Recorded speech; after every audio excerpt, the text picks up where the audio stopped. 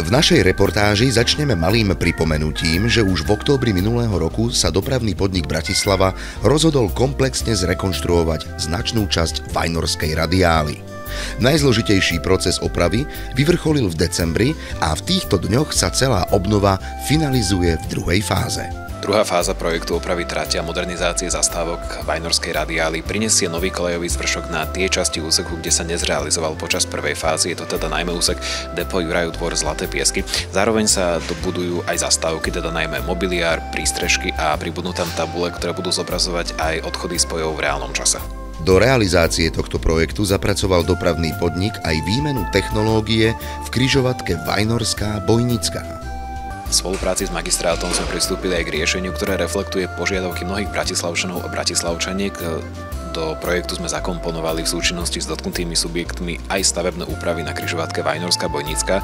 Tie následne po dokončení umožnia aj preferenciu vozidel MHD na tejto križovatke. Počas apríla a mája je zároveň potrebná úplná výluka električiek práve pre tieto stavebné úpravy a zároveň, zároveň spolu s tým sa urobia aj stavebné úpravy na vysokotlakovom plynovode, ktoré nebolo možné zrealizovať počas prvej fázy. Tieto stavebné úpravy znemožnia prejazd cez koľaje na kryžovatke Vajnorská Bojnická a časť ulice Stará Vajnorská bude zjednosmernená. Premávku v úseku Depo Jurajov dvor Zlaté piesky zabezpečí náhradná autobusová linka X4. Električky budú v takmer 700 metrovom úseku medzi zastavkami Jurajov dvor a Vajnorska premávať po jednej koľaji aj s cestujúcimi.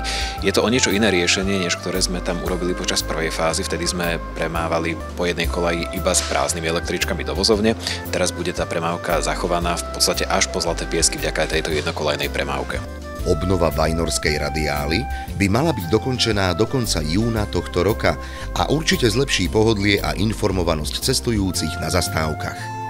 Po dokončení opravy Vajnorskej radiály, respektíve druhej fázy opravy Vajnorskej radiály, cestujúci určite pocítia komfortnejšiu a rýchlejšiu jazdu a zároveň zastávky už budú splňať štandardy, ktoré sú známe aj zo zastávok po celom meste. Až do týchto chvíľ bola v súvislosti s Vajnorskou radiálou reč o električkách.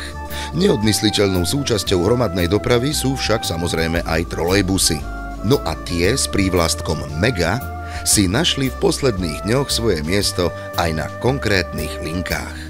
Linku 61, ktorá spája hlavnú stanicu s letiskom, už obsluhujú nové hybridné trolejbusy. Spolu s nasadením nových vozidiel na linku 61 príde aj k zlepšeniu intervalu v najvyťaženejších časoch, a to z 10 na 7 až 8 minút.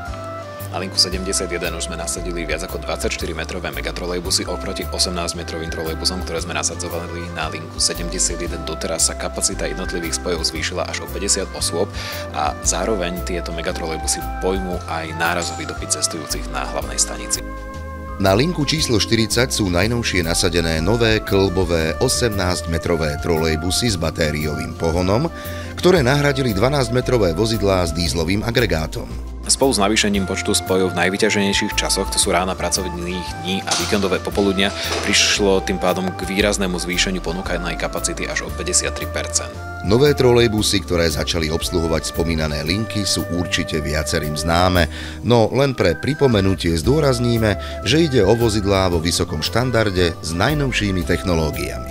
Ide najmä o výkonnú klimatizáciu, determálne sklá, ale aj pokročilý informačný systém. Na informovanie cestujúcich potom slúžia veľké obrazovky zobrazujúce prestupy v reálnom čase, zvukové hlásenie aj pre nevidiacich a veľký farebný LED panel na prednom čele vozidla, ktorý zobrazuje okrem iného aj čas odchodu z prvej zastávky na trase. V lete tohto roku budú nové klimatizované trolejbusy nasadené aj na linku 33 a nahradia tak staré vozidlá, ktoré na dlhé diely jazdia už vyše 17 rokov. Patrik Murcina, Televízia Bratislava.